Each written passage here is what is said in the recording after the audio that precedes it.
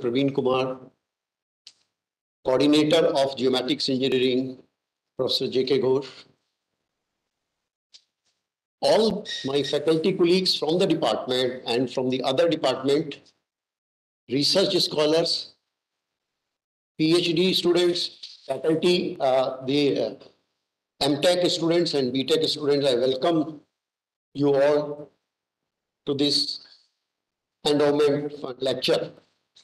Now I request all the dignitaries to please occupy the seat on the dais. I request the uh, chief guest, director, Professor K.K. Pant. I request Dr. Tapan Misra, our head of the department and the coordinator. Please occupy the seat.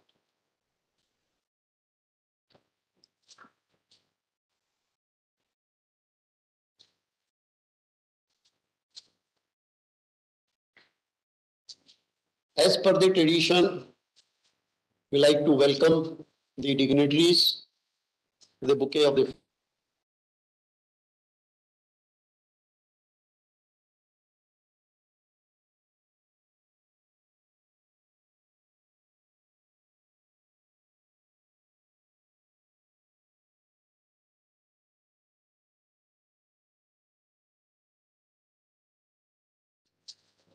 I request Director Sir to please welcome Dr. Tapan Misra with a bouquet of flower. Please. And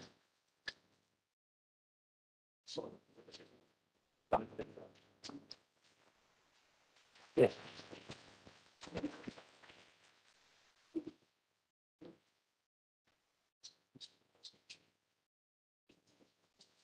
Director Sir to please offer the shawl to our eminent speaker.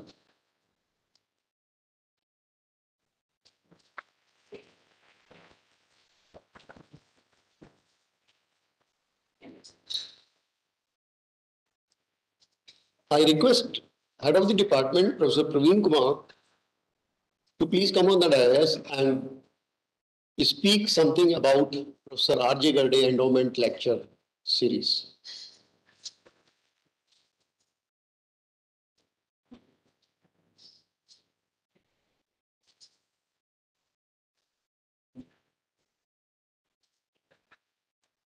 Director of IIT Roorkee and Chief Guest of today's function, Professor K. K. Pant. Our eminent speaker, Dr. Tapan Misra. Dr. J. K. Ghosh, Professor P. K. Garg. uh, dear colleagues and students. Today we are having the second lecture of the Professor R. J. Garde Endowment Series. First lecture was uh, delivered last year and the second lecture is being delivered this year after the corona. So it's my proud privilege to tell you about Professor R.J. Garde, under whose uh, name this lecture is being organized. So he was definitely a very renowned person, and uh, uh, I want to, to uh, read out about him. Professor R.J. Garde was born on April 19, 1929. Uh, he obtained his MS and PhD degrees from Colorado, uh, Colorado State University, CSU, Fort Collins, USA, in 1956 and 1959, respectively, under the guidance of Professor Albertson. Three people who had a profound influence on him in his formative years were Dr. Apte, Professor Albertson, and Professor E. E. W. Lane, his teacher at CSU. Professor Garde research contributions were recognized by Pune University, which conferred on him the DSc degree in 1985. After obtaining his PhD from CSU, the joined the University of Roorkee as a lecturer in civil engineering in 1959. He rose to the rank of professor in 1966, a position from which he retired in 1989. During his tenure at Roorkee, he held several important positions like Dean of Academic Programs and Head of Civil Engineering Department. He also worked as a visiting professor at the University of Mosul in Iraq from 1974 to 1976. Professor Garde was the Pro Vice Chancellor of the In- Indira Gandhi Open University, IGNOU, at New Delhi from 1988 to 1991. Professor Garde worked as UGC Emeritus Fellow and INSA Senior Scientist in the Center Water and Power Research Station, Pune, for several years. Dr. Garde was a member of the Advisory Council of the International Center for Research and Training in Erosion and Sedimentation at Beijing, China, from 1986 to 1992. He was also a member of Council of the International Association for Hydraulic Research from 1985 to 1989. Professor Garde was the founder president of the Indian Society for Hydraulics. Professor Garde taught undergraduate and postgraduate students with great enthusiasm for over 50 years. Uh, Professor Garde always attempted to inculcate the young student the habit of self-study and impress upon the student community the importance of staying abreast with the current developments in one's chosen area of specialization. As thesis guide for masters and doctoral students, he wanted them to use these sojourns as a preparation and a launching pad for a long research career, the degree marking the beginning and not the end of a research activity. Despite his deep, deep commitment to teaching, one could probably say safely that he, his first love was research. He brought to bear upon his work at Roorkee the background he had acquired at CSU in the field of fluvial hydraulics. Undoubtedly, Dr. Garde's most significant scientific contribution have been in the area of fluvial hydraulics.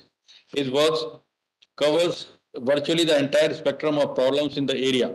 He has made several contributions in the sub-areas of sediment yield from catchment, bed forms, and channel resistance. Professor Garde is internationally recognized for his three books in fluvial hydraulics, namely Mechanics of Sediment Transportation, River Morphology, and History of Fluvial Hydraulics. The complete list of honors and awards conferred on him is rather long and only a few have been cited here. He was a fellow of the Indian National Science Academy, INSA, and the Indian National Academy of Engineering. He was the president of the Indian Society of Hydraulics for three terms. Professor Garde was a pleasant, warm, and affable person who seldom lost his cool. He was fond of music, Hindustani classical and Western classical. So it's my proud privilege to tell about him here to the new generation. And uh, we are happy we are organizing this code, this lecture in memory of him. Thank you.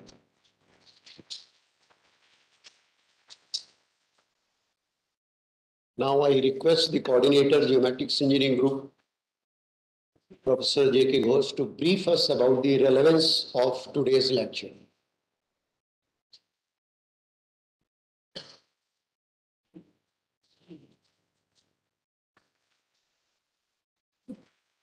Good evening, everybody. Respected Director Sir, my dear Dr. Tapan Misra, Head Civil Engineering Department, Professor P. K. Garg, my dear colleagues and students. First of all, I would like to thank our Director for his consent to act as a chief guest and Dr. Tapan Misra for agreeing to give a lecture on SAR, Synthetic Aperture Radar. We know that for modern day civil engineering, geospatial technology provides the premier data and information. There's a prolific ground for data analytics of civil engineering. Why I'm telling about data analytics? Because this is the most prospective uh, career development nowadays that students are looking forward. And synthetic aperture radar is the latest technology for acquisition of geospatial data. And the strength of uh, synthetic aperture radar lies in its capability to acquire data in all weather conditions as well as it acquires data in the microwave range of the electromagnetic energy that is the data which we will not be able to acquire by our natural sensors or uh, conventional instruments, we can get the data through SAR technology. So we will get a huge uh, amount of information beyond what we can perceive or what we can acquire through normal instrumentation. So we can make use of this for our different civil engineering projects in an innovative way. And uh, there are so many projects which is not possible to do at the present level of data acquisition can be done wisely by making use of SAR data. That is the inspiration why we are looking for this topic under this uh, lecture series. Already, uh, there are so many uh, applications which uh, we can make, we are making use of SAR data, like uh, space contamination or pollution, seawater pollution, or ground deformation, or if we want to go for um, breeze structure deformation or any change in its movement. So these are the critical areas which uh, is very difficult to study in the conventional methods, but can be done quite comfortably using SAR data and many of them using some UAV platform. So actually, um, we are eagerly looking for this topic because you know without uh, proper understanding of SAR, it will not be possible to make use of the data in an innovative or judicious way. So we are looking forward uh, these lectures. Uh, uh, thank you very much. Jai Hind.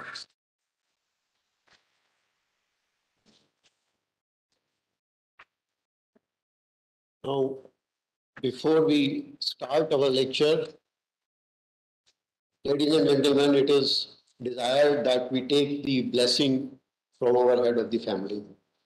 It's my proud privilege and I feel honored to briefly introduce our chief guest, director of the institute, Professor K. K. Pant. Professor Pant received his PhD in chemical engineering from IIT in 1997.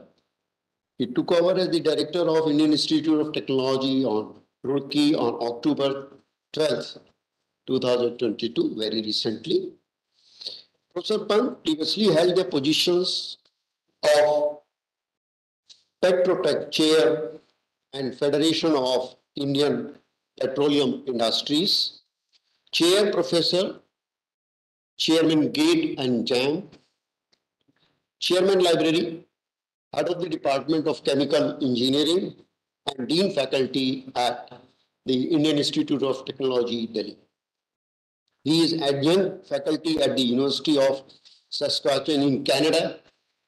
He is also a fellow of several national and international academics bodies, which includes the National Academy of Science India and the Indian National Academy of Engineering.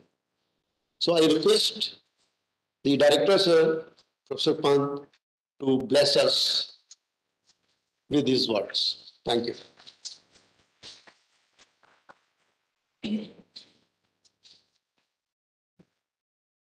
Thank you, Dr. Garg, for introducing me in an elaborative way. And I am not the chief guest for this session. I'm just uh, right the host. And first of all, the distinguished speaker for today, Dr. Uh, Tapan uh, Misra, head of the department, Professor Praveen, the coordinator of the event, Professor Jayant Ghosh, and distinguished faculty members who are sitting on the dais and student research scholars and undergrads.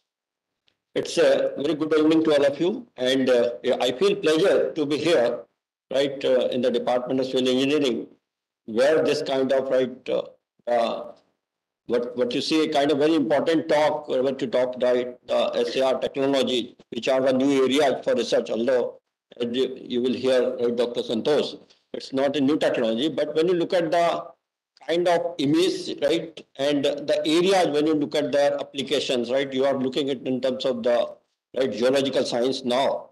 But uh, Dr. Misra has done a lot of work at right with the show as an advisor to the chairman the show, and he did right lot of right uh, the work in terms of modeling simulation. When you look at the right, the sensitivity of the data or image sensors, where is the limit? There is no limit, right?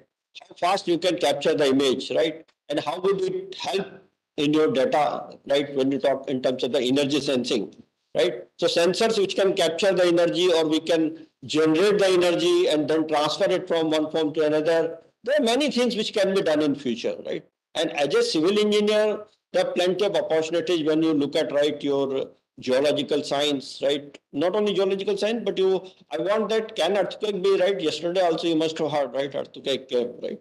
Can it be done, right? Can we detect, right? How the earth shakes, right? At what frequency it will happen, right? And if we have those kind of information, or busting, can it be done through this kind of, right, SAR technology? I don't know, because uh, you are the expert in that area, right? So how we can capture these kind of sensors and how fast we can, right, take the actions so that the data which we can capture, right, are helpful to our society. So friends, I will not go in depth of these, right, because Dr. Misra will speak more, but the topic is of relevance, right? And uh, I'm happy that, uh, right, we are remembering Dr.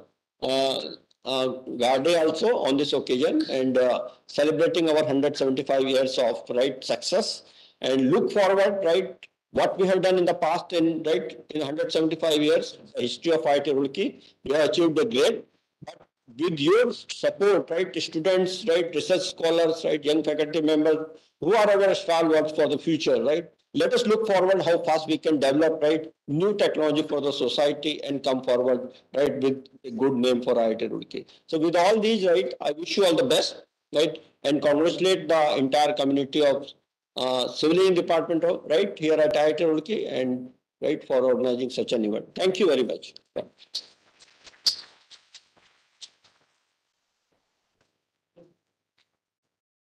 Thank you, sir, for your kind words.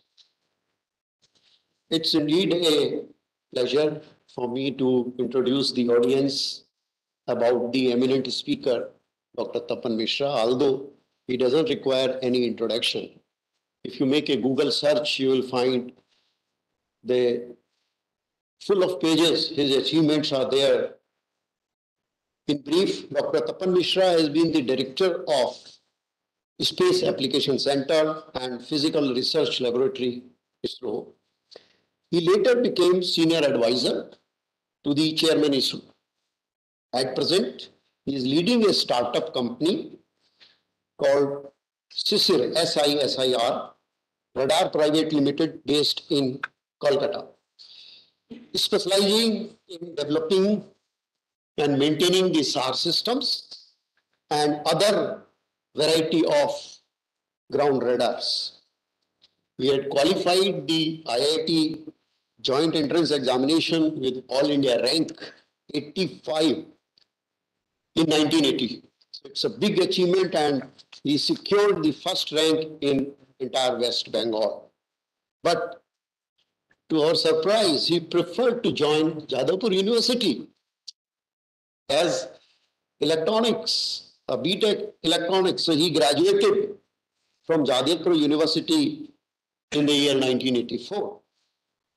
He started his career as a digital hardware engineer involved in microwave remote sensing, payloads in SSC, SET, Ahmedabad.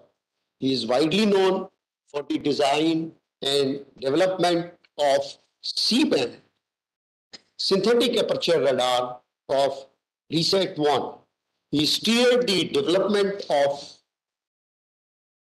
RISAT 2 series of high resolution X-band SAR system.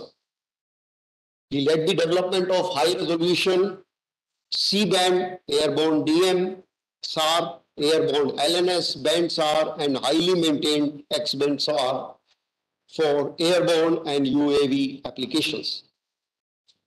Dr. Misra was also associated with the development of the multi-frequency scanning microwave radiometer instrument of ocean OceanSat 1 and scanning spectrometer of ocean OceanSat 2.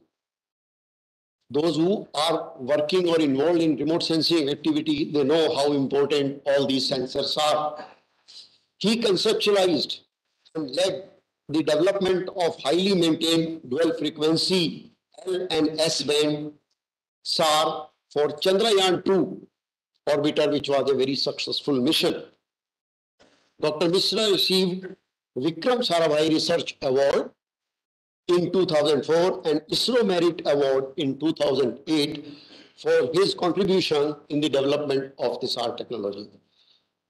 We are really proud today that we have such an eminent personality with us and I will not now delay and request now Dr. Tapan Misra to directly interact with the audience. Thank you.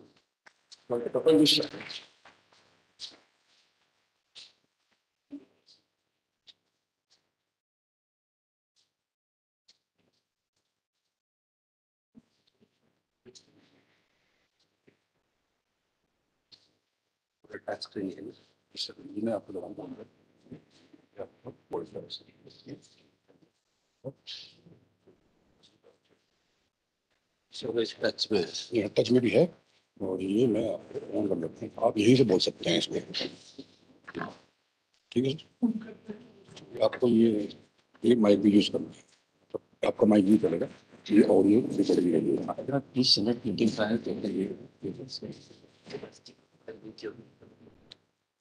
ठीक है sir तो आप यहाँ पे बोल सकते हैं ये फॉरवर्ड है ये बैक है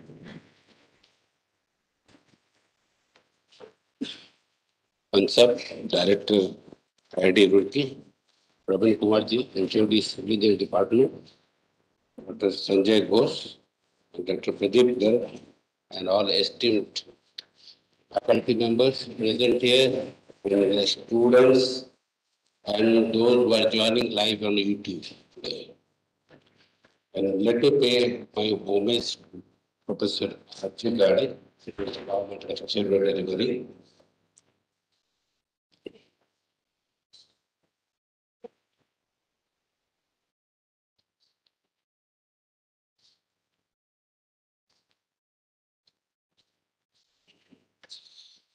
Now, look, uh, many of you, after seeing the photographs, you know, there's optical photographs, you can very readily, very readily interpret it.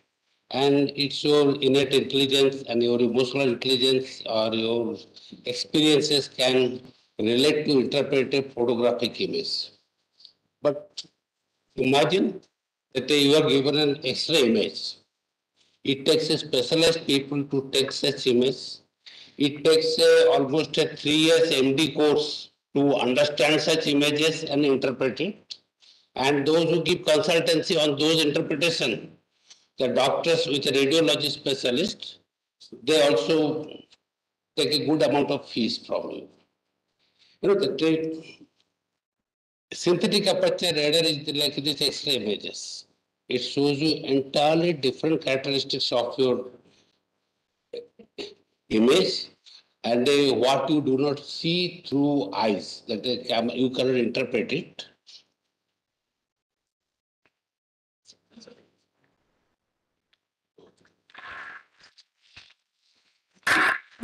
So please. cannot interpret it.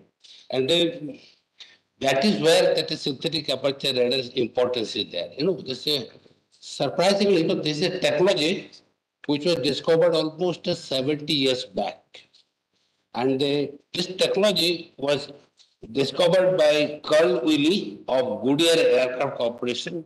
And uh, this, and he was by profession actually a mathematician. Many of the engineering people today take pride, like I was in doing synthetic aperture radar, but discovered by a mathematician. who was working on the missile technology. And the subject, you know, it's an antenna subject. Surprisingly, it was not understood much by antenna people. So the electronics engineers rejected it. In fact, it is not much discussed by the antenna people and not taught under antenna. And it was developed specifically by optical engineers, this technology. And also this, really the technology flourished when the signal processing became a subject and people started understanding. And, you know, its application is being done by the civil engineers, agriculture specialists, geodesy, the military people. And you know, this is very, very diverse. You look at the subject, the, from its evolution to its application, it has a enormous applications, but it is still evolving. I must say, it is still an evolving subject. It is not yet that uh, this is the end of SAR. And you know, this, uh, the first satellite actually flown in 1964. It flew for only four days. It has an image, uh, they call it Quill P40. It was a very much classified. And I came to know its existence when it was declassified very recently. Even I was not knowing from my 70, 37 years experience. And the first military uh, operational SAR came the Seasat. In fact, it, it threw out, it is an L-band SAR and threw out excellent images. And surprisingly, after th- three months, that um, it was taken out telling that uh, this, uh, there is a power supply failure and all those things. But there were also different opinions because of the American intelligence community was a suspect can pick up uh, this uh, under ocean movements of submarines very precisely. And you know, that's the predecessor of this SAR is an actually side-looking airborne radar. And those who do not know, it is actually was developed by the Lincoln Laboratory of MIT. And, uh, and in fact, you know, the first nuclear bombing of Hiroshima and Nagasaki was done by using a side-looking airborne radar because it was just so much smoke-filled industrial cities, no optical camera could see through it. So they used uh, first side-looking airborne radar for nuclear bombing of Hiroshima and Nagasaki. In fact, uh,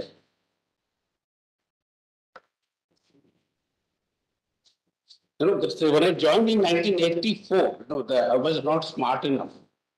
So, you know, they say all smart people from IITs and MTechs, BTechs and all, you know, they were given about cream jobs, you know, with the good buildings, you know, the IRS satellites and the communication engineering.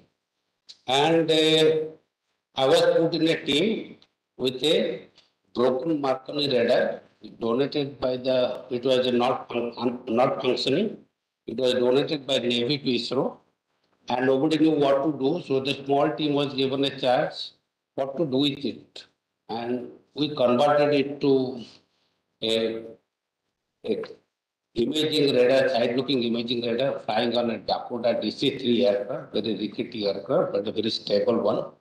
And then, and I learned something which I could not have learned in any other way had I been given on those promising projects.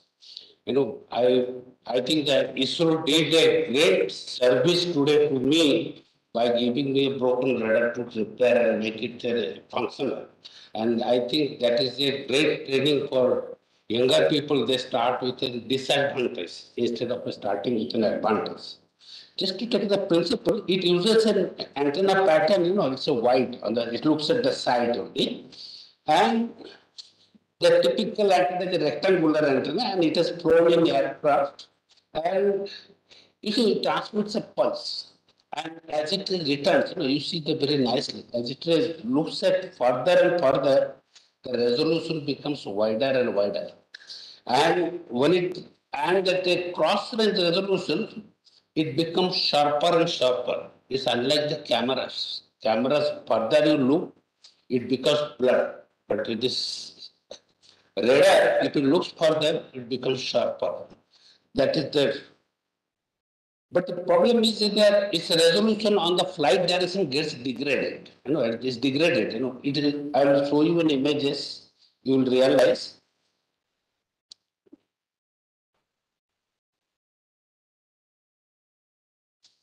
So further you see, it's a degraded, it's a- the beamwidth of an antenna multiplied by that range, it will give you the resolution. And you know, from a two kilometer orbit with a one meter to two meter antenna, the resolution becomes a two, two kilometer height, it becomes almost like uh, two fifty meters to three hundred meters of that. And And if you fly from a spacecraft, because obviously you cannot carry big antennas in the spacecraft, what you see that they,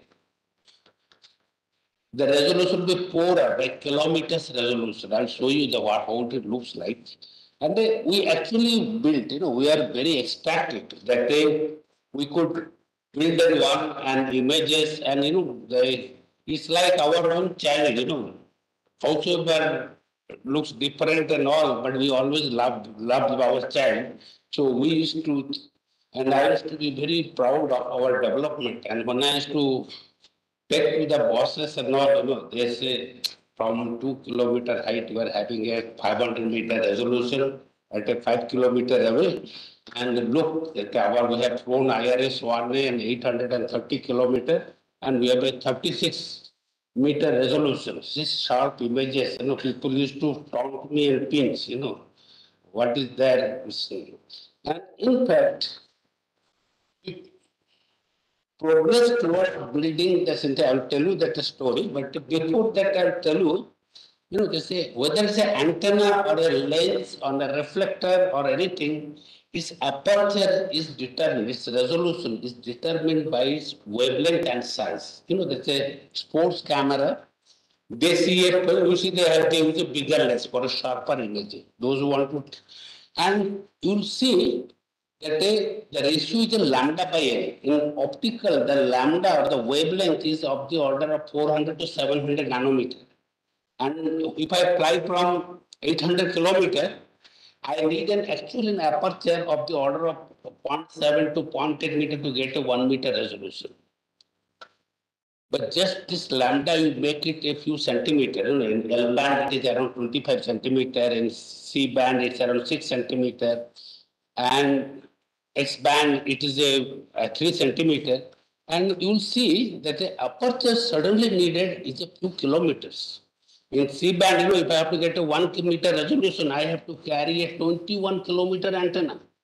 But the, for the same, the camera will be the very small one or 0.6 meter uh, dia will suffice. And obviously we cannot carry. And the synthetic aperture technology is to bypass this physical impossibility. And it is not the synthetic, in fact, it is being used, you know, from radio telescopes. It's a previous. And this is, it is used for the tracking of Voyager, you know, going through millions of kilometers. Or the present discoveries of Event Horizon Telescope. It is also based on the synthetic aperture principle. And they and all those antenna people, you should know that when you radiate, there is a small distance, we call it a reactive NF, near field, we do not transfer power. Then that there is a position, you know, you have a spherical wave front, you know, and then it becomes a parallel wave fronts beyond a two D square by lambda distance, this is for electronics industries. And we can see that the wavefront, the, the maximal power delivered when it is becomes the parallel wavefront. And uh, we like it just a problem that uh, a fundamental principle exactly how it operates.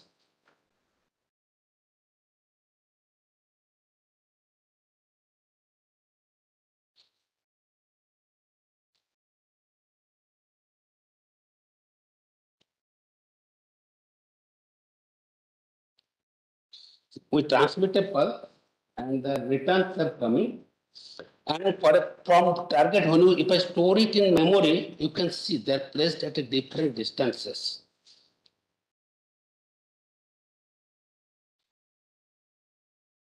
And it has to be actually stored in a memory, is stored there.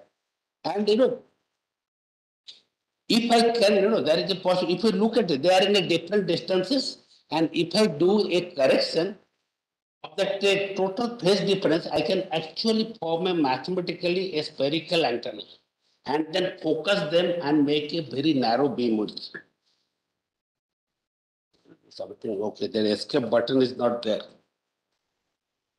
Keyboard is there.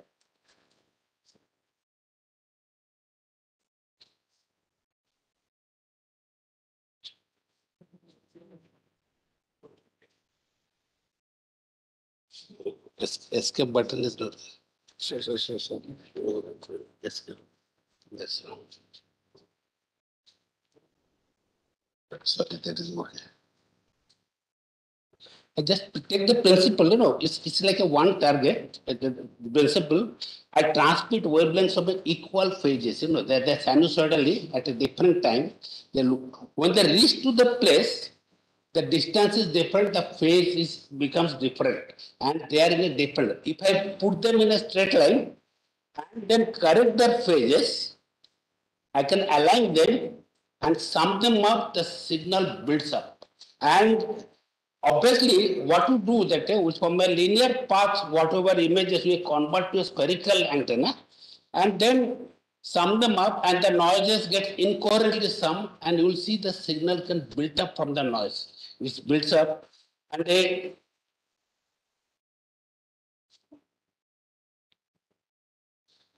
we'll see that the exact mechanization how it happens because this is what is the understanding point of view.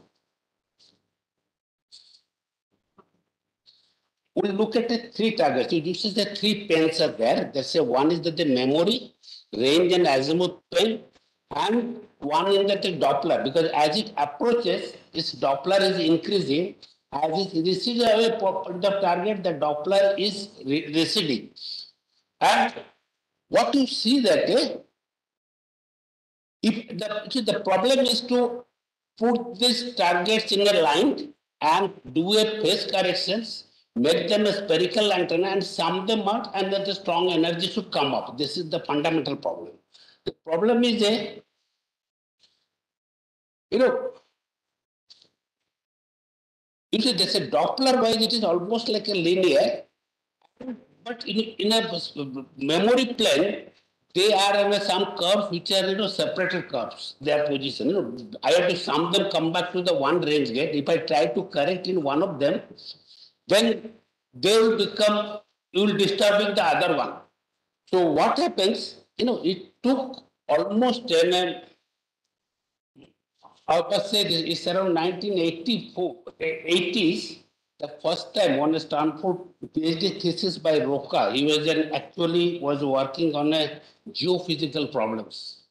He, from a sonar, his research was on the sonar. Uh, he was a, from a subject of uh, geophysics. And uh, he came out with this, solve the problem, that say if you take a partial Fourier transform, you know, this all which are non-overlapping trajectories in the memory plane, they actually become a gets aligned in frequency domain. It's very surprising because all the time mathematicians told if you have to take a, any n dimension data to take an FFT, fast Fourier transform, you have to take all the data FFT. What he told, you do partially affected one side, provided there is a condition, is a bandwidth ratios on both sides should be very, one side should be a small bandwidth, which is equal. And, you know, it solves the problem that if you straighten in frequency domain, it's equivalent to straightening all the curves of the same range gate and then you pass through a type of match filter because this phase correction is a match filter and they get aligned. And then this process you can see those who are that a target you know it's a moving process match filter and you see this one by one data gets processed. But this is the fundamentally how it is done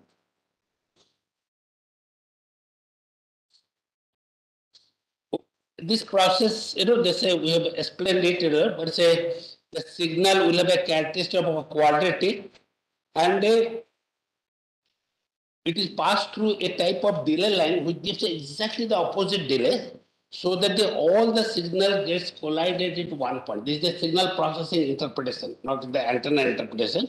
And this, this gets processed very nicely in a sharp image. I'll give you an example. This is a we simulated for the RI, RISAT data. It's in, the length is in this direction almost at 21 kilometers. When you process the data through all the processes, it gets focused to a pixel of a one meter. It's in fact, it is a 0.8 meter. It's like, you know, trying to locate uh, data in a haystack, a pin in a haystack. It is like this problem.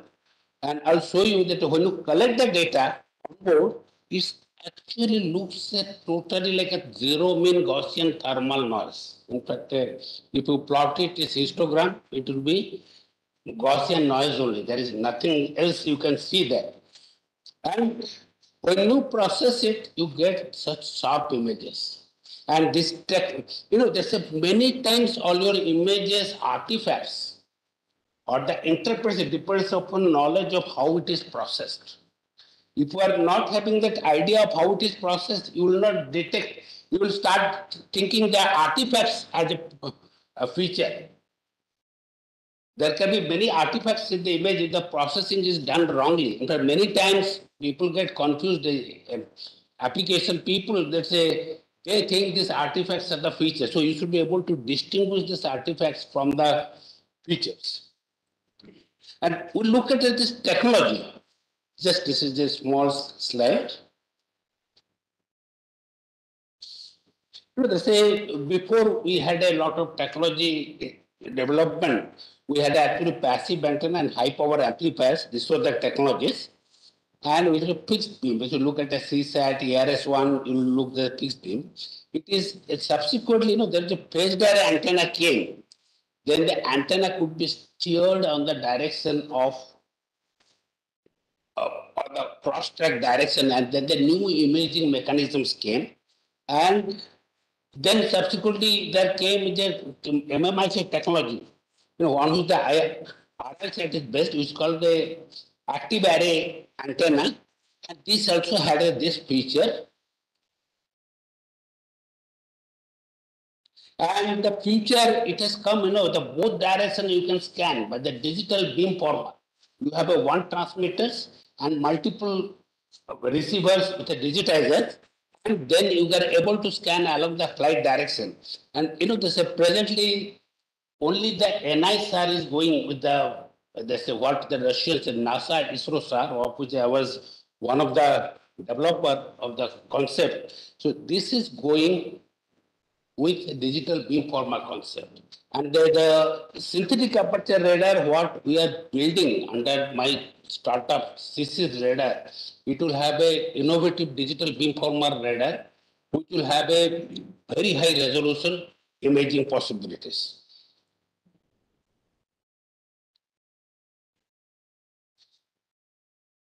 Now, you know, this, you see that all the time, you know, we have drawn on a straight line, you know, to FFTs and all. You know, whenever we do FFTs and all, you know, they have to be in an equal distance space and equal straight line. But the life is not that easy because especially in airborne platforms, there is a many errors come because the aircraft, you know, never flies in a straight line. Especially the pilot is very shaky. He has a hand always on a joystick. They do not believe in instrumentation. However good instrumentation you give, the pilots, you know, they always believe on the joysticks on their own eyes. That is my experience. And you see that it meanders around the straight line. So the two problems can come. That first, we have to bring the data as if they are in a straight line. It's a mathematically done, not exactly physically. We call it a motion compensation. And then we do phase correction and focus the data. Other things can be, you know, there's a velocity of the flight also can change. It can change, you know, which it can move, you know, at different times there will be different velocity. You, you, one may ask, you know, how, how does it matter? They're quite stable. What is stable for normal perspective? You actually the velocity has to be stable with a 0.1 meter per second. It is 0.05 to 0.1. You, you imagine an aircraft flying at a, you know, almost a 500 kilometers per hour speed has to be stable in a 0.1 meter per second, you know, just not possible. And what we do, we actually, that velocity variations we measure, mathematically resample the data to get a, as if they are in equal space. You know, then only the, my signal processing can work there. And then subsequently we focus it by doing phase correction and all. We look at a one, you know, almost a animation which actually shows you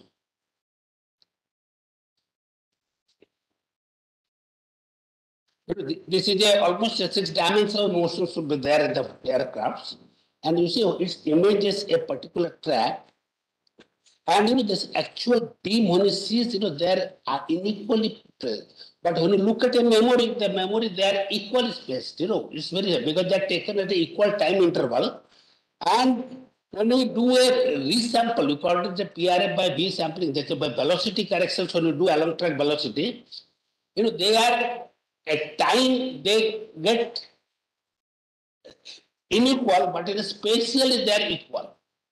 And then subsequently we do the correction, you know, from we position, make it a, as if it is flying in a straight line. So see the memory, it's a goes in a very meandering way that data.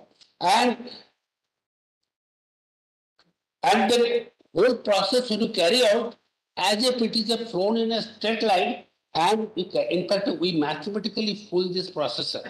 The data as if the data has been collected in an ideal way, but it needs a onboard, you know, GPS aided INS today to make it possible to the sharp images what I'll show it. And they, we have thrown on the SAR system in 1992. I remember the date May 20 because that is the day the first ASLV also became successful. After one failure, it became successful. And we were the fifth country to build this radar and process it in the country. And I must tell you that say this SAR actually failed 52 times over a period of six months.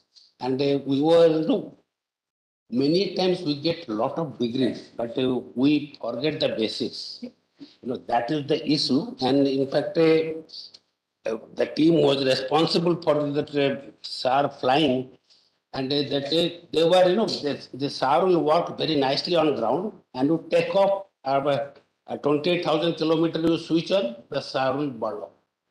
And we're not knowing exactly what would repair and all and do. And uh, then finally task came to me, you go. What I did, we did a slightly different. We did a, we asked the pilot to fly opposite to the air traffic controller radar direction and switch on the radar from the ground. We took a risk of burning, but we did not burn. And then flew the opposite direction of the ground radar.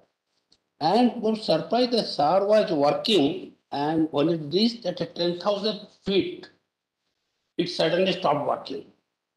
And then we understood that at 10,000 feet, the pressure, the internal pressure of the pressurized aircraft is maintained at a, a 10,000 effective pressure of 10,000 feet. That is a 0.7 atmosphere. And you know, it was the corona discharge which was passing huge currents, the, the waveguide, which was passing huge currents to the electronics and bonding of the electronics and chips.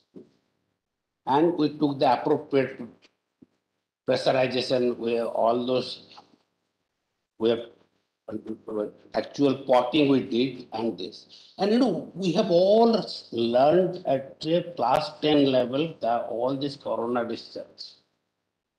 And uh, it took six months. And I, I must say that they, when I say it is a very looks trivial to you, you know, you look at the ISRO engineers and police.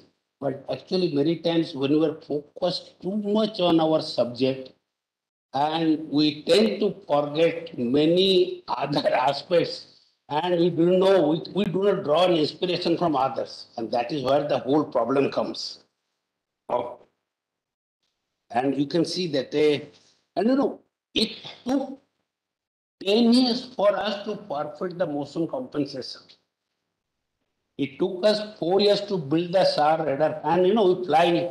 In fact, I used to fly most of the time and you know, we used to go, we used to pray. You know, first to pray to Hanumanji, Camp Hanuman, then coconut. And after all this, we used to pray today it should fly in a very straight line and no atmospheric disturbance, no banking, no squinting and any other thing. And then, and out of ten sorties, one sortie used to get the image. And we became a really laughing stock, I must say. But then we built around two thousand two perfected that SAR processor. In fact, today I can claim It is one of the best SAR processor in the world which can generate images under any atmospheric condition, under any pilot, at any time. And you see this is a very classic images we got it, multipolarization. In fact, we flew another SAR, know, I tell you that uh, thing, no, we are making the RISAT. So that hardware, you know, a part of the hardware we wanted to fly in aircraft. And you know, that was a resolution of six meter, but the RISAT was designed for a 0.8 meter. And uh, what we thought, you know, just six meters we have flown. What is that? The same SAR processor will work. But uh, let me tell you, it took one month to understand a fallacy of fast Fourier transform to say that it, that it, how to perfect the processing. You know, what you used to find, used to process, if a range resolution becomes very sharp, azimuth resolution is to bloat up. Or the azimuth is to become very sharp, the resolution is to up. And you know, for almost a month, we are not able to know. And uh, I'm not discussing with them. And you will see that if I discuss it, it is just so triviality of fast Fourier transform, some specific properties. And that we ignore, and that was causing the problem. And when we generated, we had a very one of the sharpest images. You can see that you can see the aircraft engines, tails, fins, everything. And you can see the small trees, the separation, and you can see very carefully. You can see the two crops of different heights to shadow looks different. You can identify which crop is of what height and this different. It is not an interferometric, but the shallow angle through shadow properties, you can see that. And they- this was the one, you know, where, where we had tasked, you know, in two thousand eight, there was a Kosi bridge. You, you know that uh, it was a very infamous bridge in Nepal. That time that the government by the Prachanda was there. And it was uh, raining heavily. And, um, you know, this uh, Lalu Prasad's wife, Rabri Devi's constituency, Madhepura, got totally flooded. And they, and um, there was a, that no other camera was being allowed by the Nepal government to go there because the Indian MHA has uh, many different understanding and suspicions what happened and all this thing. And then I, I don't want to get into conclusion, but we flew over Bihar, image 100 kilometer away, away. And what you see this image is actually collage of approximately 60 images, small, small patches of images that flew one after another parallel lines. And you can see that how seamlessly it got integrated. They are actually got registered in a, such a fraction of a pixel. And you can see this uh, images, there is absolutely no variation. It shows you the power of SAR in terms of radiometric correction and location, location accuracies. And we could identify what was the cause and all. And you can see that the type of gradations, uh, water flow into the Bihar that happened. You know, that's it. One, you know, we, I just happened to tell that uh, the resolution of a SAR is surprisingly half of antenna length. If I fly a six meter antenna, I'll get a three meter resolution. If I get a one meter antenna, I'll get a 0.5 meter resolution. If I get a a 0.2 meter antenna, I'll get a 0.1 meter resolution. That is a SAR principle data. It's an antenna length and it is independent of the range. Whether I fly to 8 kilometer or 800 kilometer, it is the same resolution you get. If the SAR properties are that, it doesn't change. That is the power of SAR, that it doesn't change. You know, I, and this, what happened is that, eh, but eh, you know, but there is a signal to noise ratio consideration. You know, if I use a small antenna, I have to pump more power, which I cannot carry in aircraft or spacecraft. And so we have to come to a compromise. I have a reasonable length of antenna on which I need a reasonable amount of power which can be provided and we get this imaging done. But but then you know we need a you know that a RISAT was a six meter long, so resolution best can be with a three meter. But uh, with three meter resolution, if I want, but there is a, some requirements from the government to have a 0.6 meter resolution. We use the spotlight mode. I will take that one.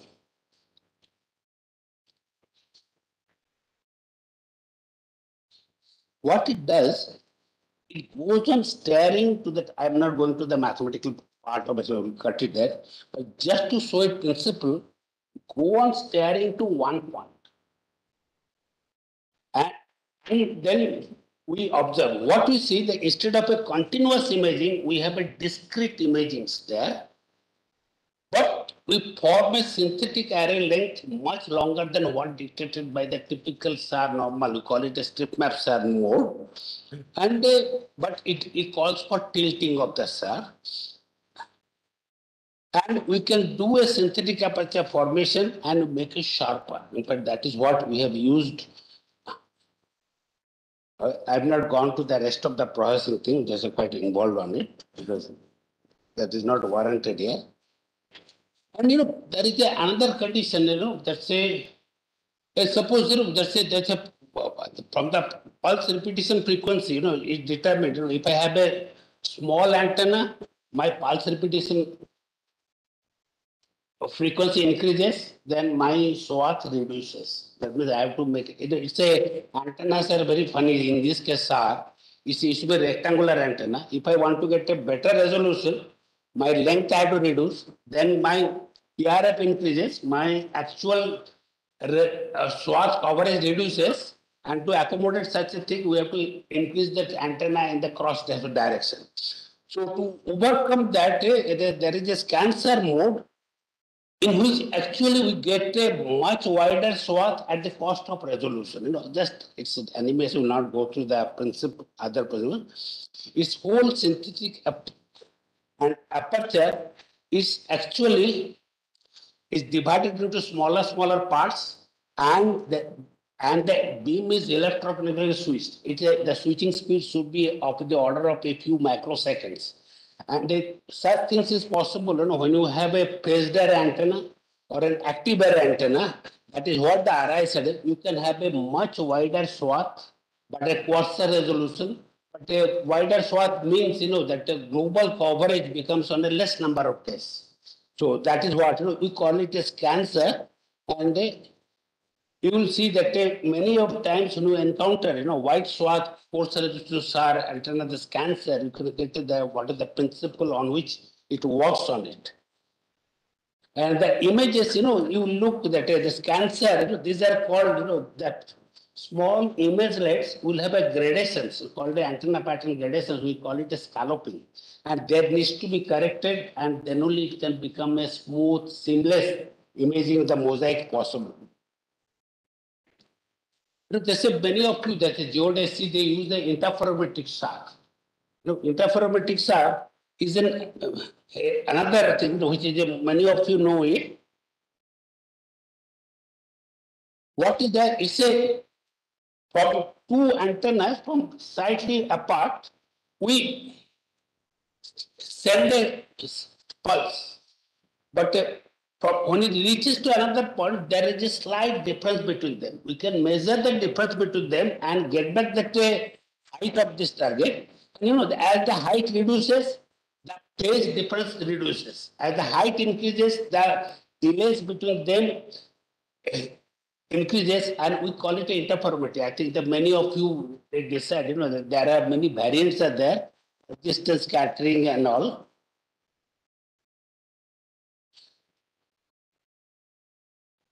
We can show the amount BCBS we process with the ERS1, ERS2 tandem pass, how they look at it. And there is a- another variety, you know, the differences are interferometry. You can see that eh, this is done with the persistence uh, uh, scattering by a group in SAC and the Kharagpur IIT. And we can measure that, uh, you know, how the subsidence of Calcutta is going. You can see that the subsidence is actually by almost an order of 28 millimeter per year. In fact, we visited these localities, we could see these cracks in the building. We could look at the, those which have a basement parking slot, they are unaffected. But But those which are only isolated pillars and only joined by the beams uh, on the base, they were a relative displacements and that the buildings, you know, there is a lot of cracks, you know, specifically they reflected as a diagonal cracks on the window corners and the joints and all. And they, this is all, we have really observed that the subsidence what we predicted, the buildings are getting damaged. And uh, surprisingly, those buildings, you know, some of the builders were very careful. They have went for a zone four, the zone five related classification design of the pillar spacing and all. And those buildings are having no issues. So though it is not an earthquake prone zone, but for subsidence issues, there's a underground water depletion and the uh, discharge uh, and the recharge, there is a lot of uh, gravimetric changes are happening and the subsidence occurring. And though it is not a, you know, if I ask, somebody asked me that uh, what sort of design, you have to actually use a zone five earthquake related design. Those houses will not have cracks. In fact, I have selected a flat while buying, which has a zone five designs. And that has no cracks. Now, we- built, you know, that's a, you know, RISAT, you know, we flew in the two thousand twelve, you know, it said that they, actually in nineteen ninety-nine, actually ISRO was not embarking on a synthetic aperture radar because it was so costly. It's a, to buy from abroad, you know, Europe or USA, it cost something like a fifteen hundred to seventeen hundred crores, the. Satellite together, it will cost thirty-five hundred, that was what the ISRO's total budget. We just, so in nineteen ninety-nine, I still remember that they, I wrote a three-page proposal. I went to Director SAC, the Gopalan was there. That we can build a SAR here, everything. And uh, he jumped up. You are nobody, you are a junior engineer, young engineer, you have no decision on policy. That is what happens, all big bosses tell, you know, the decision has to come always from top. It can never come from bottom, and you must understand how the organization works and all he told. But after a plan, I, and he was quite, you know, he's no more there. He did a great service to synthetic aperture radar. That man, he, and he was slightly hit by my last line. This would be built by the brown people in India only. And you know, I was a slightly maverick type of handling. And uh, he, but then he sent it to Kasturirangan, the proposal, you know, though he jumped on me, sent it to Kasturirangan, that's a proposal. And uh, Rangan Saab made a committee to see this uh, uh, development, what are the, what are the costing and all. And as usual, you know, uh, big bosses have also big advisors. They told, you these people are not able to make a good airborne SAR images, how will they make spaceborne SAR? And I was a hardware guy, and the software people were different. And uh, I actually, it actually hit me. If I have to make this proposal through, we have to make a SAR, uh, airborne SAR working. And I am the person dev- develop, responsible for the part of the hardware team. And I was not knowing much of the software, except simulation, the processor and all. And then I requested, you know, Apte Saab from the, who was the head, heading CMC to donate a eight processor Xeon machine for six months. You know, nobody will say then, and how do people have to buy a processor? And actually on this eight processor Xeon machine, we wrote a complete motion. In fact, this is all got patented, two patents it got. And we first time processed the SAR, every data was processed. It is no longer dependent on pilots and all. And, you know, that uh, we told that the Rangan Saab that uh, we'll show him these images and we took him to Delhi. Those days, you know, that uh, those image display softwares were not there. And the laptops have come new to SAC. And that there was a Explorer, we can, Explorer only, we can display images. And we displayed images and all, you know, the tears started rolling down in. He asked for that uh, fine. And he asked, what is the initial money needed? We told we have projected twenty-three crores for that developing the DVM system, digital verification model, that. And he signed that paper and that is how in nineteen ninety-nine, in November end, the research project was approved. And it's all took me to, it was a all, you know, the same. I had to change completely my subject from a microwave engineer to a signal processing and a multiprocessor algorithm writing. And, and it was a survival. career. If I had not there, you know, that the SAR would not have been there. And we built, you know, we actually developed, you know, we actually, you know, co-opted, get it to build uh, all MMICs. In fact, we qualified that fab facility. Everybody was telling this is good for nothing. But uh, we have co-opted and uh, this, we built almost eleven industries in India, which are today the mainstay of a backbone of space technology privatization in the country. That includes, I, I can fondly remember the Astra, Centum, and many other companies which they developed out of this. In fact, they were all those days startup. Nobody knew the startup. Actually, and they, built this. today, if you see that uh, who's who of that uh, space technology delivery, they- these are the companies which are in them. And we built it's all MMICs. This processor, in fact, its onboard system had a 314 computers. It had a 1500 subsystem. Of that, uh, 576 were the active. And uh, there were 6000 connectors. There was a total digital cable length was more than 30 kilometer. And in its lifetime, not a single TR modules have failed. It is like a 576 uh, transponders of INSAT flight. It was that capability was there. And they were proud we built it and it's a, it went through many, many new technologies. You know, it's, when I look back in ninety-nine, you know, it was a very, very audacious approach. You know, somebody asking to build a better than the best. And today it is the standard. And we have made a new, you know, we have first time we introduced the hybrid polarimetry.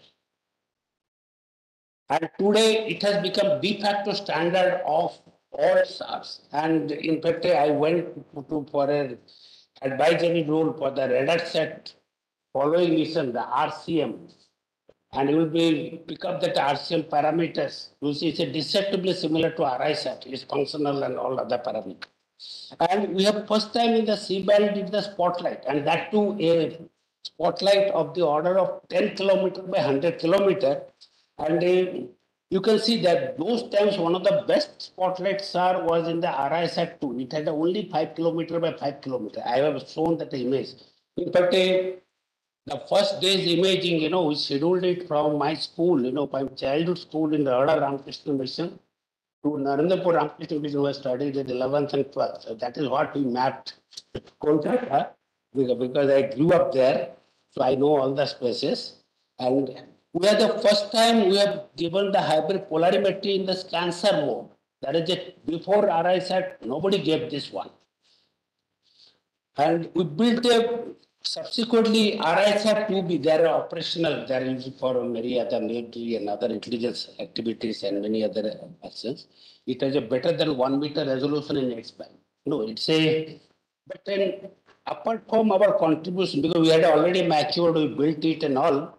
I'll tell you that many times the cross intelligence is a very much needed expertise. And we do not respect the cross expertise. I'll, you know, that uh, electronics en- engineers are quite autistic, you know. I must say, I'm an electronics engineer, or, or I say the engineers. So there is a called a Butler matrix for switching, you know. Everybody eight by eight Butler matrix. It is written in a, everybody does a drawing straight, the system. So they made a waveguide and all. It was a, a piece, it's a huge one which cannot be accommodated in the satellite. I have been requesting, you know, why don't you make it a three D and all?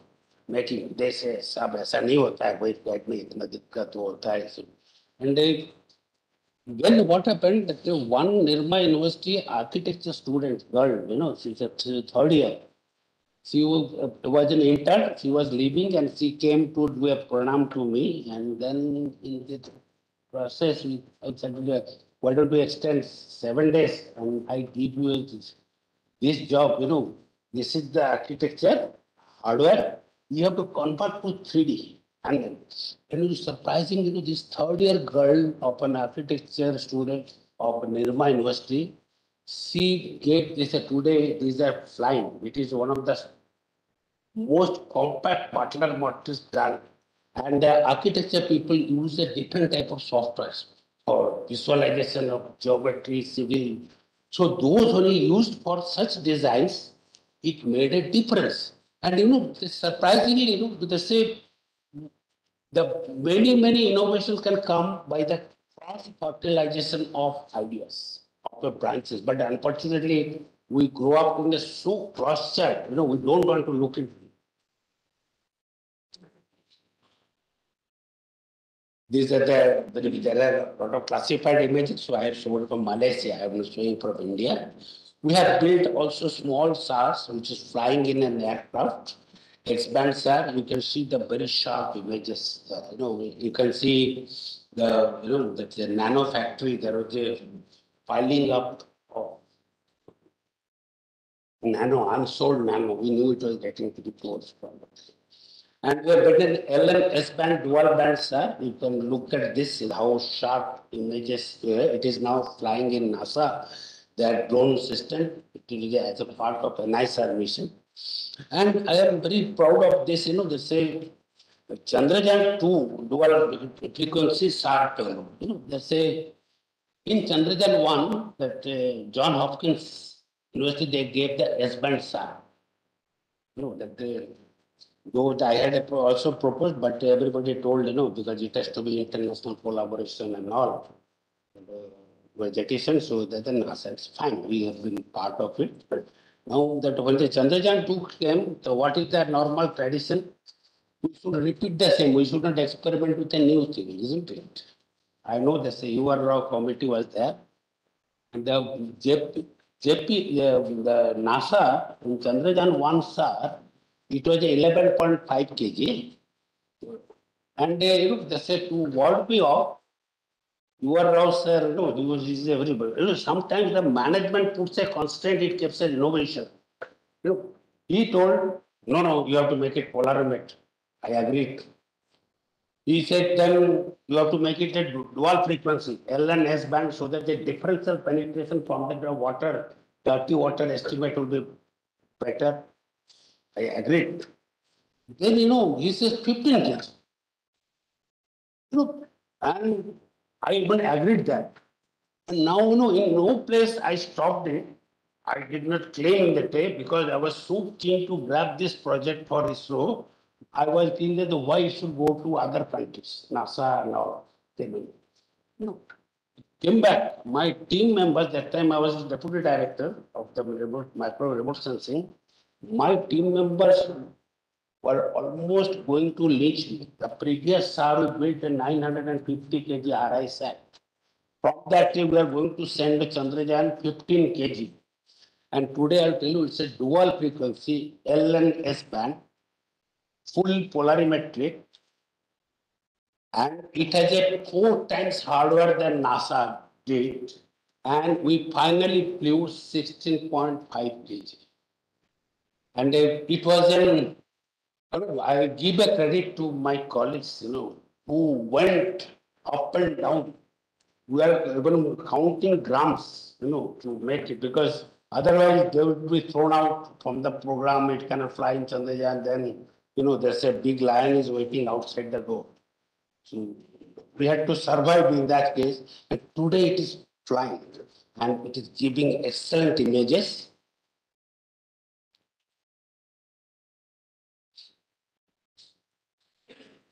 You can see that a number of images we have taken, that crater and all of the, that type of resolution, it has a resolution of two meter resolution. And they- those who are in a Chandrayaan two- two SAR project, they can, they must be having all the access of data. And the next is a, what is a very ambitious, it is actually that day we are testing the SAR. I'll tell you. RISAT flew and they, I'll tell you the story later how the NISAR came. And they, it was a great experiment because the Chandrayaan two became the L and S band SAR. And the NASA came for a one SAR to fly for based on our RISAT experience. And uh, we converted to two, but uh, it has to be is entirely different. It's a fully interferometric SAR. It is such that every ten days, you will have the images of whole global landmass and India's landmass with a, the change in the height denoted with a two millimeter accuracy. In both L and S band. So it will have a different penetration and uh, uh, for some reason it was getting slightly delayed. uh, It was but to be launched in two thousand twenty, but to today's date, it is two thousand twenty-three.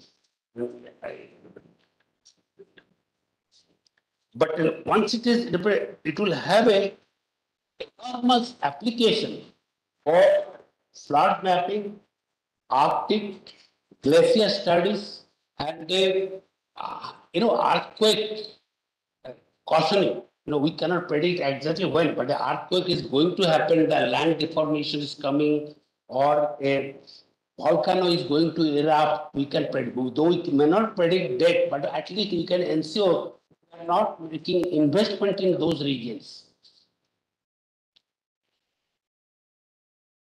I'll not. And then presently, you know, we are building, I understood that a application of SAR is most hindered the cost. In fact, those who are using the SAR data, they cost less, whereas the optical data cost few hundreds. That's a big difference because the SAR systems are costly, processing is costly, the data is costly. The only way if you want to make it applicable for common masses, especially I feel that for crop insurance, it is the one of the best problem. So we built a startup and we took it a very innovative, we will bring down the cost by factor of ten from the market. And they, in fact, we are approaching to this part and it will be the India's or the world's probably the second drone born SAR. But India's first drone born SAR and there is no competitor outside. And the and the for the India startup, we are actually quite well funded in seed funding. And they will also, this SAR, what we're building it up is an actually a developmental model of a spaceborne SAR. We are going to build a spaceborne SAR of a probably of a hundred fifty kg class in another three to four years time frame, which will uh, obfuscate the limitation of the spotlight SAR. That if you want to have a high resolution, it is to be spots. But it will have a first digital beamformer SAR based on my patent, you know, it will have a continuous high, high resolution images. So we hope that uh, I'll get a VC funding and this, you know, those trying to build this SAR. We'll go to the SAR image properties, you know, that's a, that a, how good the surface is reflected. You know, mirror is a very good reflector in optical. But the wall is not a good reflector, it is a scatter because the roughness is of the order of wavelength of the. But it's a very good reflector of a sound wave or a microwave because the roughness is much smoother in fact than a wavelength. But there is a Rayleigh criterion, what should be the surface roughness? That's a approximately lambda by eight of that order. And then the sur- the surface is a reflecting surface. And this behavior, if the surface is very rough, if the signal is always reflected other direction, it is by the laws of reflection, all of us have studied in class seven, eight and all of that. And then, but if it is a rough, uh, signals will be, some signals will be scattered back to the radar. We call it a backscattering. If the signal is very rough, that much more signal will be backscattered and the very less signal will be reflected the as per the laws of reflection. And that is why the radar cross-section properties, you know, varies with the roughness. In fact, by measuring the brightness of the image, what we know from that is basically get a feature of surface roughness.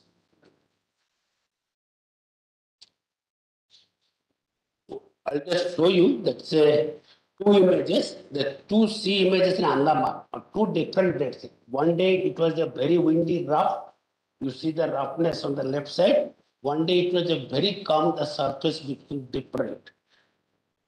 Similarly, know, the same, uh, the polarimetry signatures, you know, the, the RISAT first time showed the polarimetry signatures at different incidence angles. And you can see that the signature varies with an incidence angle because the reflectivity and the polarization properties changes and those also can be mapped.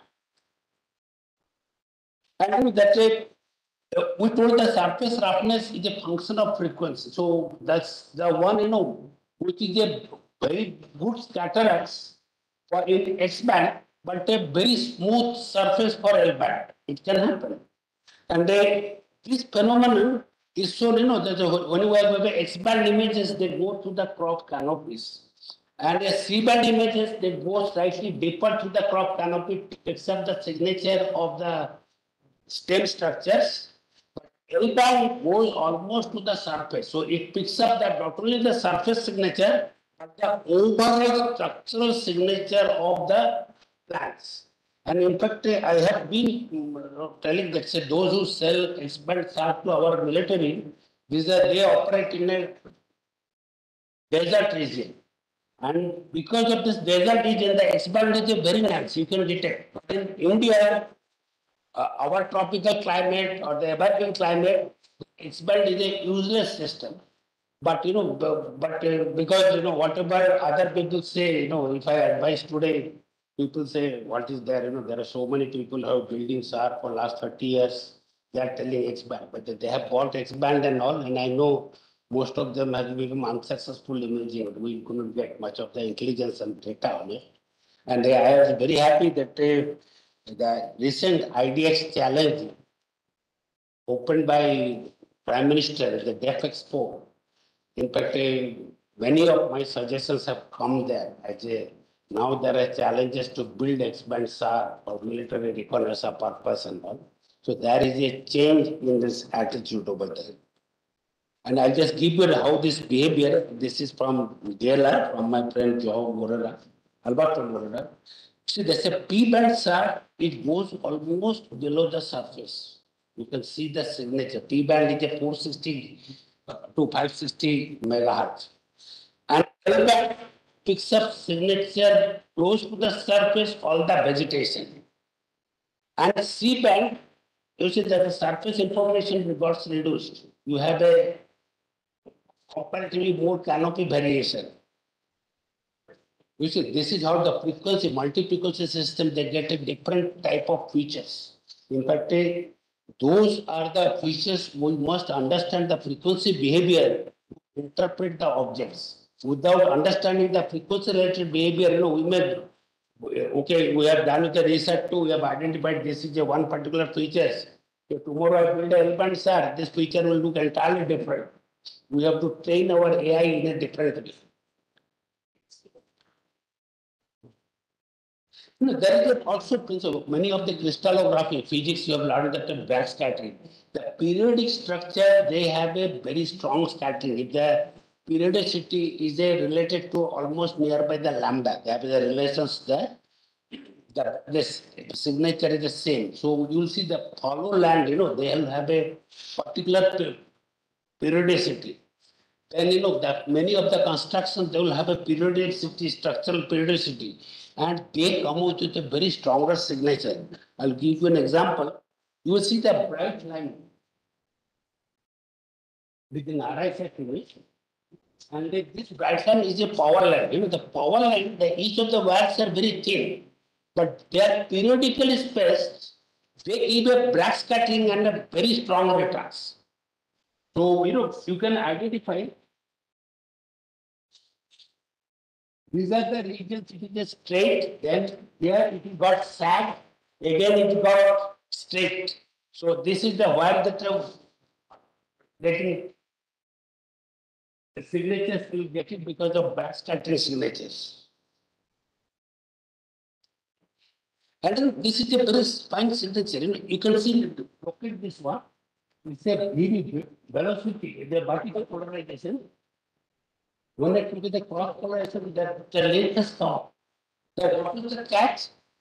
There was a strong wind was blowing, the surface got a periodic roughness. That gave a back scattering of a very strong signature, showing co-polarization you got from the signature. But if cross polarization, the signature is, is missing. So can, so many times, you know, uh, polarization variability can bring out newer and newer features.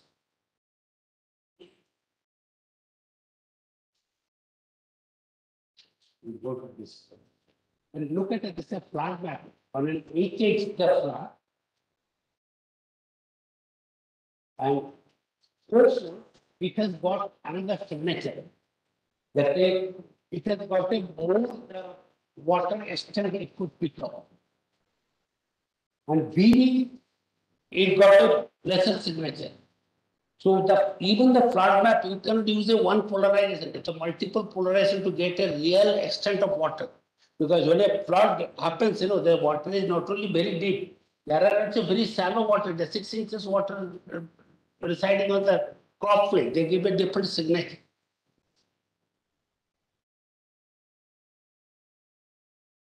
So there are a lot of artifacts, with the radar, you know, you can see, there will be shadows, because the radar shadow, you can see them.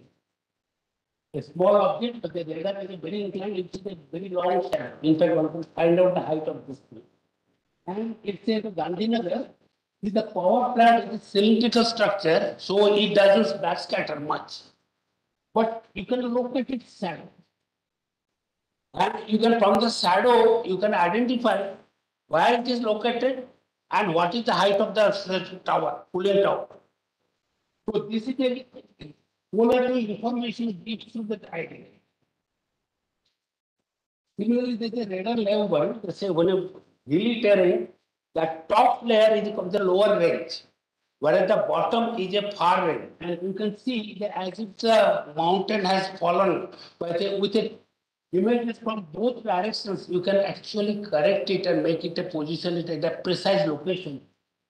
This is a very classic case, that is from aerosensing image. Uh, You can see that the, the power pilot, the shadow in the right direction. But this scattering because of the height difference, a different range difference, it appears to have fallen. So while interpreting, you must have an idea of how would the target heights and what are other features to get it interpreted. Another, for the single frequency, the properties, you know, there's got a spatial property, you know, they say it becomes very noisy. I'm not going to explain it. But today there are algorithms to make it a very clean up. And we do that, this is the Sundarban, we are doing a study, see that how the, I feel very bad because there's so much of forest, you know, has been eaten up by the population as they've converted to fields. You know, but comparatively Bangladesh has preserved the Sundarban better. And they, this is how, because the agriculture and forest area, you know, how it should be segregated, That this is the multipolarization result. With crop area and with the forest area, because of polarization differences, they are getting segregated. Then uh, you can have a, look, the intelligence about the structure, the land economy. It's the Adani port and ships, uh, it's a very excellent tool for actually the identifying the ships, boats in the, you may say what is so great because the today the intelligence on the boat movement is very crucial for our security, for also for the smuggling activities what is going on to prevent. And then let's say with the flood, you know, the automated software picks up the flood. very precisely on the whatever the water survey.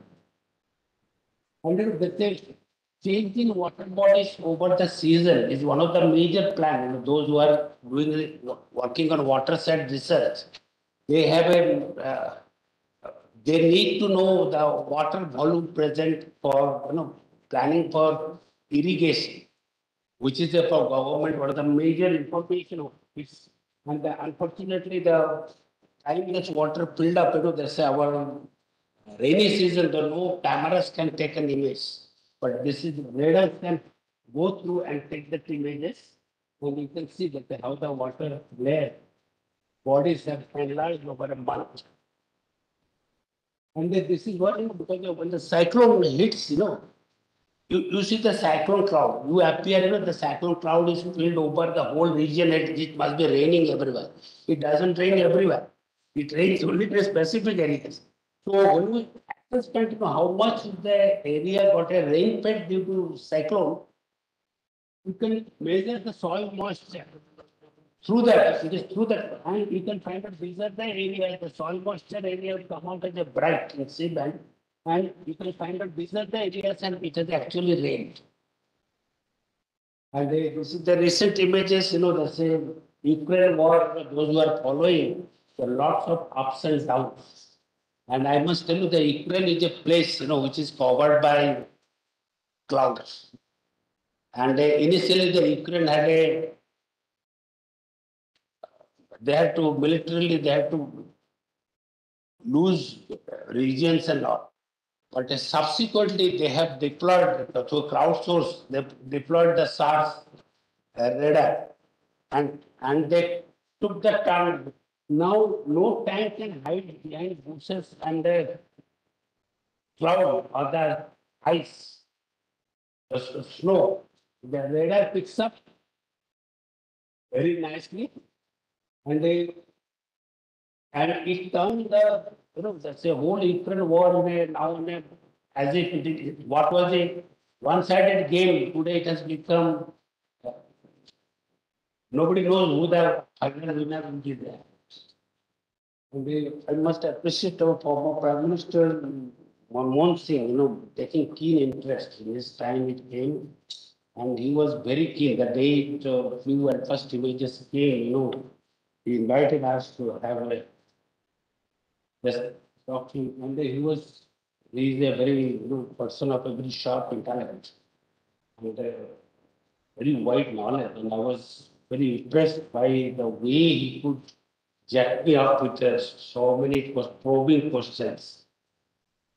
And then uh, I, you know, the two thousand twelve after the SAR launch, you know, went to US State Department for a negotiation. And uh, there it happened, you know, this NASA chief Charles Bolden, you know, he took me aside, he asked, did you build the SAR at this cost? I said, yes. He says, I want to see this lab where this SAR is built at a such a cheap cost.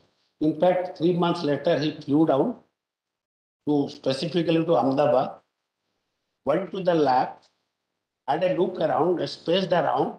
I just wanted to understand how we Indians could build a SAR at a- such a cheap price. And, and that led to that uh, NISAR program today. Thank you for your patience.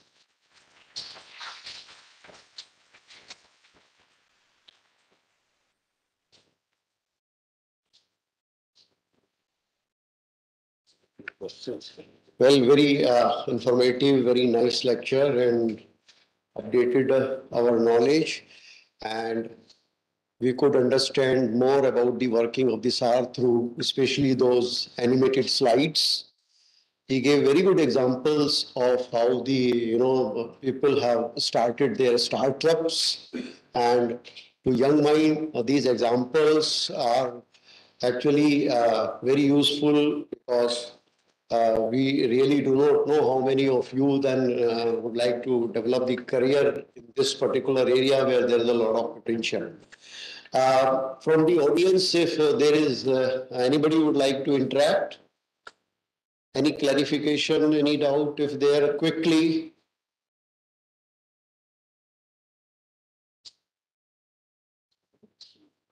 You have mentioned uh, So it is special detected of action and can be simulated because uh, if we want to do the application, then we will require more. Ground based to is scatterometer, no. Yeah. See, that they, I'll just, see, the space boards are, is very costly, but easy to process. Because the orbits follow precisely the Kepler's laws. And that easy to predict and easy to estimate the precise stars, because they do not waver like this. Compared to that, aircraft stars are cheaper in hardware, but not very cheap because they operate in a very dangerous zone, very low pressure zones.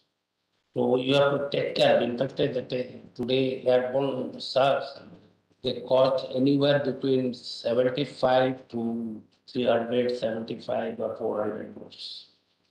And they, the, because that uh, aircraft has a lot of six degree of freedom, there's a lot of flight dynamics. So there needs a extensive motion compensation and a computation also. So the processing is difficult. The SARS are the cheapest on a drone because it flies on a very low altitude where there is not much pressure difference. You don't have to take a lot of corrections. But the processing becomes very tough because it is a slow moving and it it, it cannot carry more, it has to carry small antenna. So it is a very wider aperture and there is a lot of motion disturbances. So they have to be, st- so the processing will be much more complicated. Say that a airborne SAR processing is ten times complicated than a spaceborne SAR. And drone SAR processing, in my estimate, it will be hundred times more complicated than the spaceborne SAR. Actually, the computation engines, you know, we have put up an array of parallel processors today. Because the SAR will be cheaper, but the computation systems are computation speed will be a cost, but surprisingly today multiprocessor systems are coming in a very cheap price through our, uh, we, uh, you know, we are a small company startup. We do not buy these branded ones. We buy the parts, these power supplies, and we get computing system at a one fifth of the cost. So initially we used to think, you know, why, but uh, today we have now accustomed we build most of the hardware, except measuring instruments, ourselves, our facilities. So that, you know, by buying, you know, some of the cases we have bought, most of the cases we have bought from Amazon, very cheap prices. And you can build the cost at a very, very cheaper price today. That is an advantage today, and we want to build a SAR, even the drone also we are building. When we are given contract to one person, so he will take four lakhs rupees the each one the animals. This drone, also if you buy components and all, the drone cost comes down by also factor of five.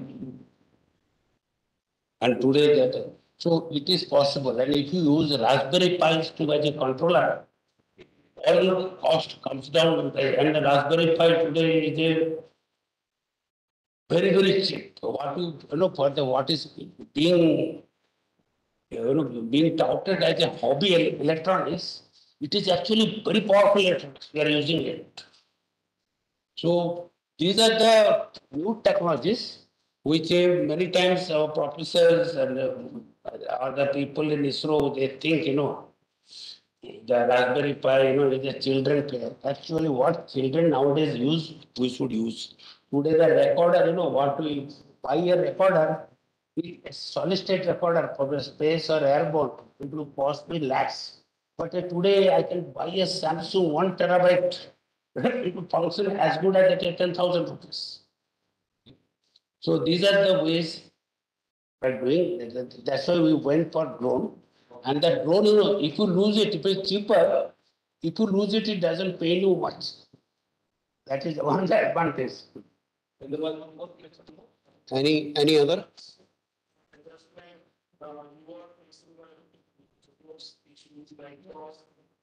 Was maybe slow. There was a confusion. If you look at, like, there was no circular reference. There was a, uh, derivation. So basically, where we use, uh, this vertical baseline, twenty baseline data set. So like, uh, having less than information, but not very high component information. So we use multi-baseline set line data sets. Yes.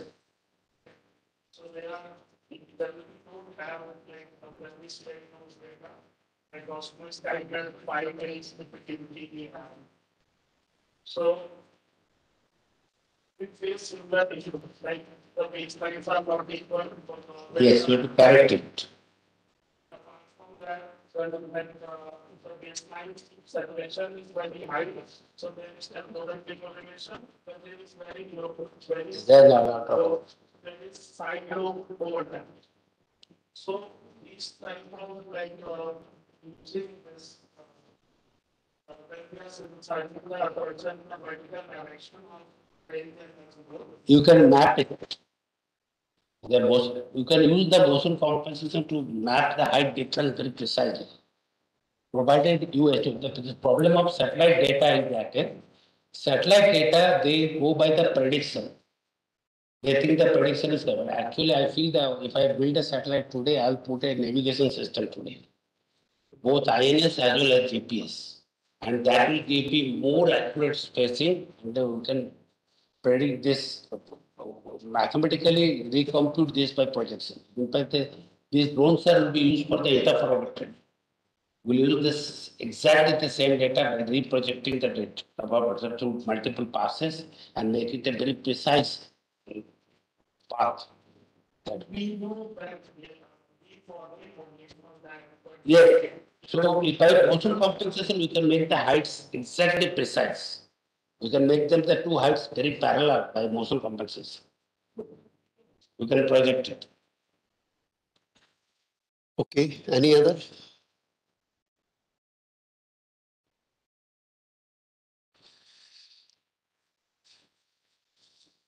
All right, if uh, there is no question, then we end up this session. So please take the seat. So a big round of applause to the speaker. And we would like to thank uh, from the core of our heart, the speaker, very, uh, he has kindly agreed to come to the, our campus and uh, deliver a very illuminating talk. And uh, in fact, uh, it has uh, indeed uh, improved our understanding of the synthetic aperture radar. We would also like to thank uh, the director of the institute, Professor Pant, for sparing his valuable time and gracing this occasion and giving the necessary approval. Thanks are also due to the head of the department, uh, who has always been supportive for such academic activities and uh, he is always positive uh, for such kind of expert lectures. We would thank Dora, Professor P.S. Roy, his office staff, particularly Mr. Vishal, for giving us all the uh, necessary help and support to organize this lecture. Uh, Many, uh, uh, you know, the students uh, have helped us uh, in organizing this particular lecture behind the screen. So uh, all the students of GEG, they deserve a special thank, particularly Mr. Abhishek, Sahid, Himanshu, Him Pushpa, Pawan and others. Most importantly, uh, the, the audience, you know, whose presence has made this uh, program a success. So thanks are also due to them. Lastly, I would like to thank uh, Professor J.K. Ghosh, whose untiring efforts uh, has brought this day for us. And this was, uh, you know, he is very much instrumental in uh, bringing the experts to uh, our department, to our group, almost every Wednesday. So uh, we are enriching our knowledge with his great efforts. So thank you all. Thank you very much.